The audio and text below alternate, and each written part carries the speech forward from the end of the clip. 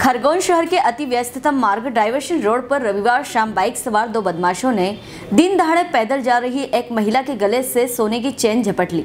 हालाँकि बदमाशों की यह करतूत एक सीसीटीवी कैमरे में कैद हुई है। सूचना पर पहुँची पुलिस ने महिलाओं से जानकारी लेने के साथ ही सीसीटीवी फुटेज के आधार पर स्नेचरों की तलाश शुरू की। पीड़ित महिला सुधापति सुनील भोसले ने बताया कि वह शास्त्री नगर निवासी होकर गोलीधाम में अपने भतीजे पंकज के घर आई थी। शाम को अपने रिश्तेदार के साथ जेतापुर के लिए पैदल निकली थी। डाइवर्शन रोड पर अर्जुन हॉस्पिटल के सामने से गुजरते समय दो बाइक सवार जिनके चेहरे पर गमछा बंधा था। उल्टी दिशा से आए और पीछे बैठे बाइक सवार ने उनके गले से चैन खींची और बाइक तेज़ी से चलाते हुए भाग खड़े हुए। वे चिल्लाते हुए उनके पीछे दौड़ी, लेकिन हाथ नहीं आए। कुछ राहगीरों ने भी पीछा किया, लेकिन वह गायब हो गए। पुलिस मामले की जाँच में जुटी है। खरगोन से जयंत गुप्ता की रिपोर्ट। चेन खींचने की घटना। क्या हुआ था? ये यहाँ माली ब्रदर्स के सामने यहीं पे दो लोग मोटरसाइकिल से आए और चेन खींची और चेन खींच के निकल गए।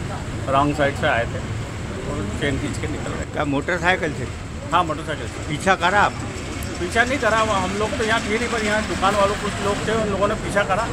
तो वो उधर इधर जवाहर मार्ग तक निकल गए वो लोग। क्या सोने की चेन थी हाँ सोने की चेन। कितने की होगी लगभग?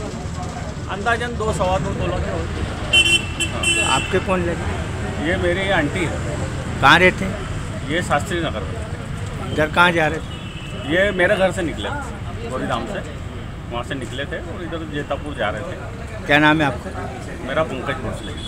हेलो फ्रेंड्स आप देख रहे हैं हमारा channel S W twenty four news हमारे सारे वीडियो सबसे पहले देखने के लिए आप हमारे चैनल को सब्सक्राइब करें और पास में लगे बेल आइकन को दबाना बिल्कुल भी ना भूलें।